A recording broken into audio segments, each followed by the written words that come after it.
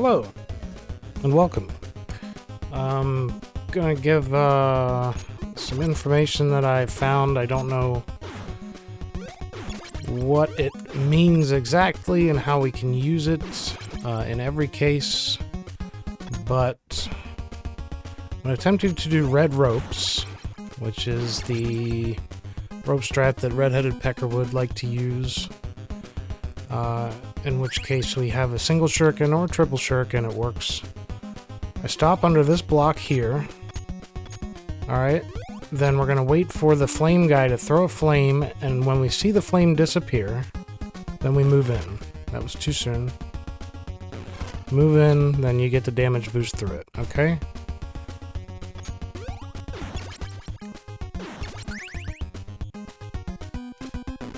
Damage boost through, hop over here.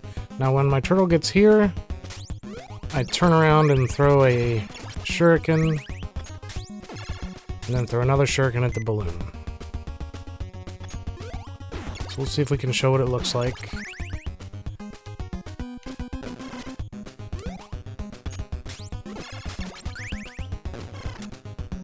Okay, that probably won't be fast ropes.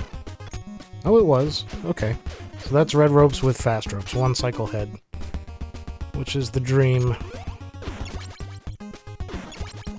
Okay, so sometimes the robot can charge at you in between flames. And The robot can do different things, but let's see if we can get the robot to charge at us. See, he walked a little far forward there. If he does a little stutter step before a flame, that's usually okay and doesn't mess with your timing too much.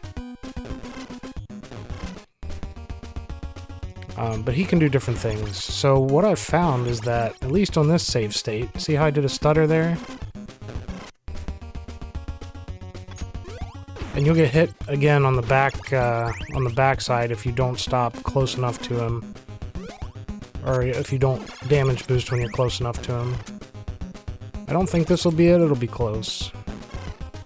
Yeah, we got it again, nice. Okay, so what I've found is if you do an early ladder dismount, and I don't know what all factors into this, if you do your early ladder dismount, which is getting up here, what are you doing? And then if you ring around this really tight, see how he's kind of into the block there? See, there he was to the left of the block. There he was into the block. There he was to the left of the block. So if you do it too tight... There we go, we were pretty far in. Watch what this robot does. No, he didn't do it that time. He's making me a liar.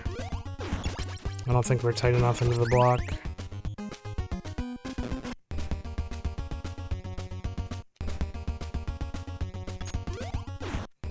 So I don't know if it's a uh, speed you get to the robot at or something with your sub-pixel positioning, but occasionally he'll walk forward. And that's Jennifer. The robot's name is Jennifer. I don't think that was tight enough into the block, but occasionally he'll walk forward. And he'll mess you all up.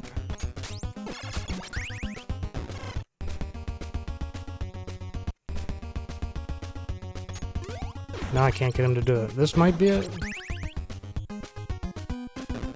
No, now I can't get him to do it.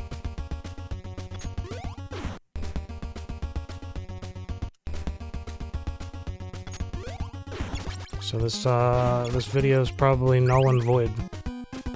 Uh, see, there he walked forward. Anyways, um, so watch when we throw a stutter step in here. Stutter, go.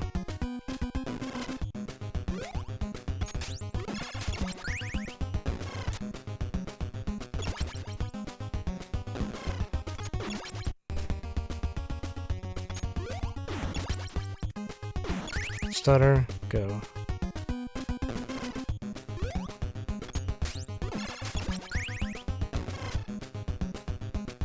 Don't think this is it, no. It's close.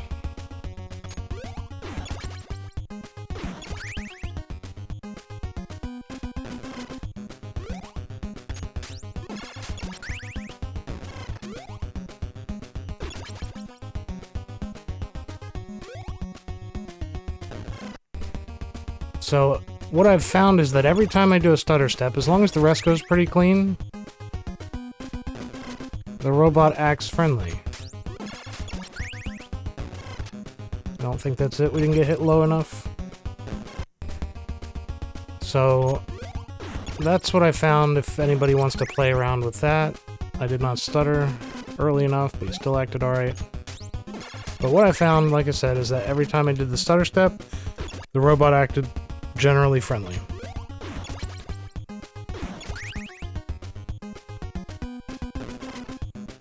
And you have to play around with your timing and your visual cues for...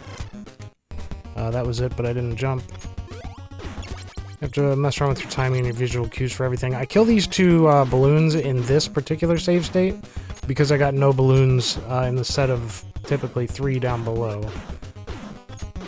Uh, so if I don't get any there, I kill these two balloons to get my uh, enemy count back to generally where I want it. No stutter step, and he charged. Stutter step, no charge. See there I had to do a turnaround. And if you do it tight, you can save it. Uh, so that's a brief tutorial on red ropes. And what I've found with the stutter step potential manipulation for the robot, pending further investigation. But I wanted to get it out there so uh, anybody going for that might be able to play around with it and see if it helps them out. So, cool. Uh, and once I get to the point where I'm able to explain things for fast ropes with a single cycle head, um, I'd like to post a video on that too, but it's it's something that I I can't really put into words at this time. Um, so I will try to get that together for everybody. And in the meantime, enjoy and cowabunga. Thanks so much.